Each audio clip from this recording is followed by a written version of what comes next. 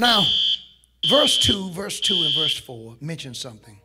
I call them the big three love of self, love of money, and love of pleasure. These three are causing wicked things to take place in our land. I want you right quick, right quick, I want you to show that beautiful, loving family. That's a loving family. I want you look at that family. Look at that loving family. Look at those leave it to beaver haircuts. Look at how clean they look. Notice where the hands are placed.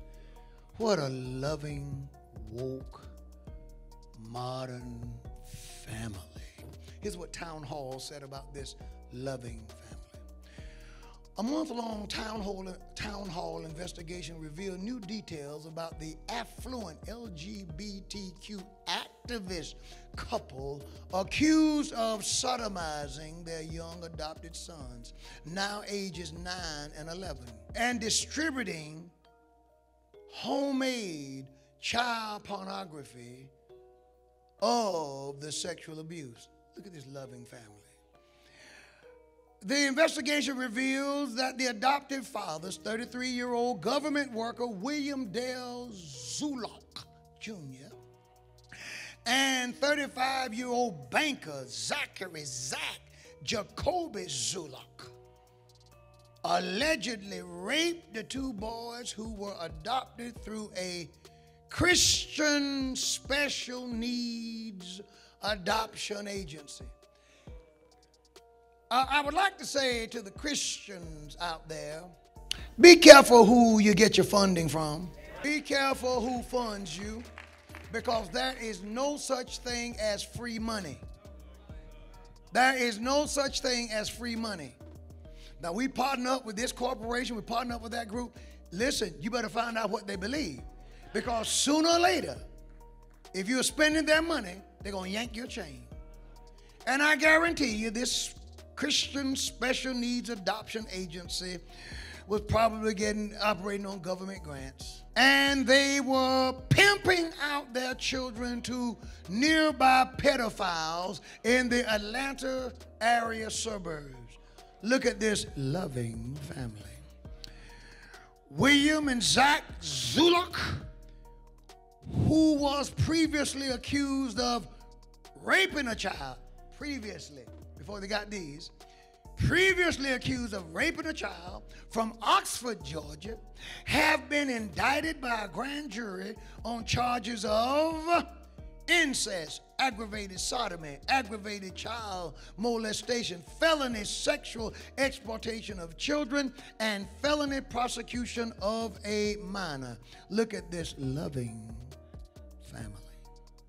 According to a copy of the 17 count indictment, they allegedly performed oral sex on both boys, forced the children to perform oral sex on them, and anally raped their sons. In at least one instance, the anal rape injured older, uh, injured the older Zulock, a child who just turned 11 years old.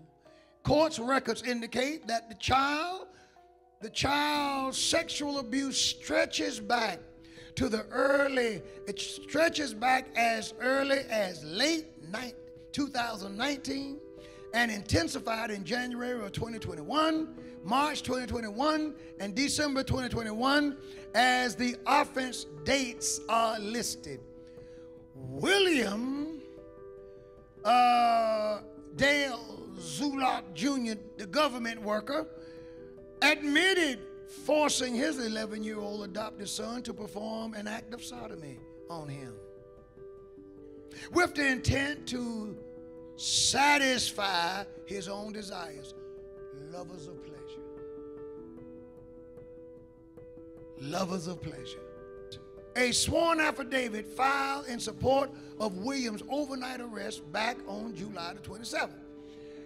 An updated criminal affidavit says that the child abuse the child sexual abuse was filmed by William's husband, Zachary, you know, Zach, with whom he routinely engaged in sexual abuse acts, sexually abusive acts on the boy. Zachary, the household breadwinner, he was a banker, confessed to being the cameraman and authorities allegedly found a folder in his cell phone labeled us in quotes that contained videos of William sexually abusing the child. The indictment also charges the Zulocks with soliciting two other men 27 year old Hunter Clay Lawless and 25 year old Luis Armando Viscario Sanchez. Uh, through the use of the popular social media, through the use of popular social media platforms in the greater Atlanta metropolitan region to perform an act of, pro- of prostitution with their child that suffered physical injuries from being brutally raped. Now, look at this. Zachary met Lawless through a mutual contact on the homosexual dating app Grindr. And they haven't taken that one down. Zachary spent sent he sent photographs and videos to Lawless of a of a little boy he referred to as his son. I'm going to it means half sex, start with an F. My son tonight Stand by Zachary, Zachary uh, alleged, allegedly messaged Lawless on Snapchat and then sent pictures of himself sexually abusing his 11 year old child. A list of the state's evidence includes 149 images collected at the home of the Zulocks. Two flash drives containing Zachary and Lawless phone data Sexual assault nurse examinations, called SANE, results from the children's medical forensic exams, which gathered DNA evidence such as bodily fluids and documented injuries, a text message from Lawless, a Snapchat letter, two written letters from the older Zulock child, and a disc containing a dump a data dump from Viscario Sanchez iPad and iPhone.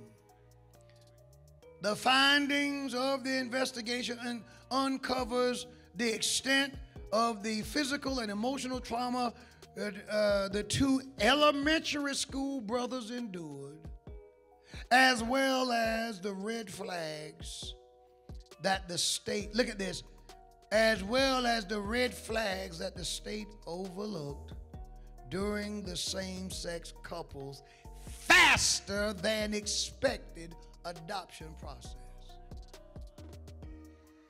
They overlooked all this stuff and look at what these children were subjected to. Do you think that they'll ever be right? Bless you all. Do you think that they'll ever make it? Do you think they will ever recover? wickedness. This is the wickedness that is going on. This is what Paul warned us of.